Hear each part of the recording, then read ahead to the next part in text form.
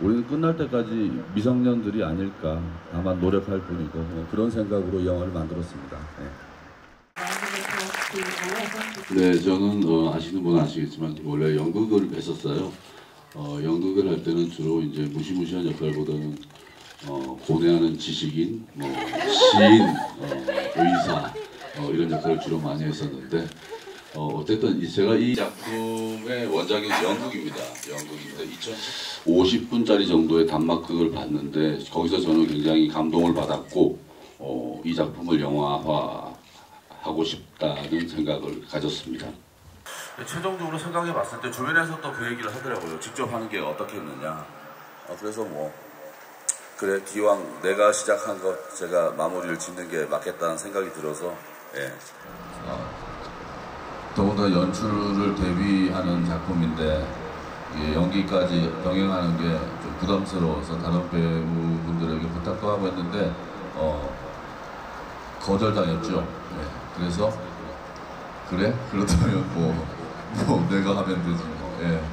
했고 어, 무슨 무술합 같은 느낌 짜고 치는 이런 만든 씬 같은 느낌이 안 들고 완전히 원초적으로 싸우는 느낌이 들게 어, 만들어 달라라고 얘기를 했고 그 보신 분들 아시면 유리창이 깨지고 이제 교실 뒷문이 부서지는 데까지 싸우게 되는데 어, 을 가지고도 어, 황해 명가의 액션을 능가하는 작, 액션 씬을 만들고 싶었어요. 저는 능가한다고 생각합니다. 예. 어, 어느 순간에 기만이 어, 세상을 살아가는 어, 수단이 되고 기만이 함으로써 쉽게 어, 지나칠 수 있는 일들을 끝까지 자존감을 가지고 지키는 사람들의 모습을 보여주면서 어, 이 영화를 보고 우리가 한번 돌이켜 볼 수 있는 부분이 있지 않을까라는 생각을 해서 만들었는데요.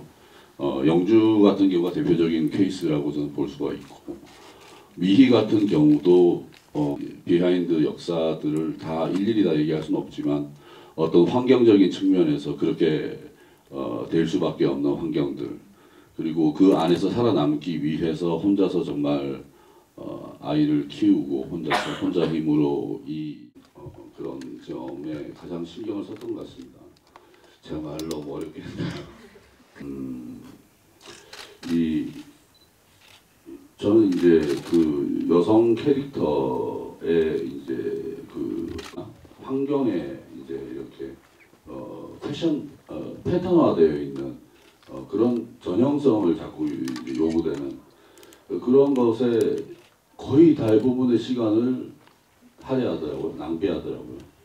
그러나 우리가 알다시피 어 좋은 영화들 그리고 외국의 유수한 영화들을 보면 그런 것보다는 그 한 인간의 내면 속으로 깊게 파고 들어가서 그 인간에 대한 모습에 집중하는 영화들이 저도 굉장히 좋아하고 뭐 지금도 찾아보고 또 우리는 또 영화를 좋아하는 사람들은 모여서 그런 얘기를 많이 나누잖아요.